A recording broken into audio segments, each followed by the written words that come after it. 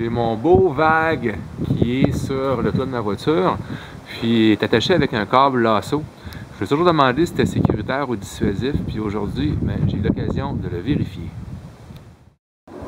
Bon, ben, je me le pris, euh, je sais pas pourquoi, mais mon câble lasso a changé de code tout seul. Alors, euh, je vais prendre les grands moyens, je vais le couper. On m'a dit que c'était facile à couper, qu'avec des cutters, ça se coupait facilement. Alors, euh, on va voir si c'est vrai.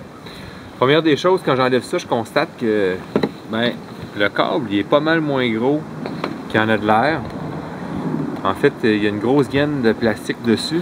Fait que il n'y a pas beaucoup d'acier. On va voir, ça se coupe facilement.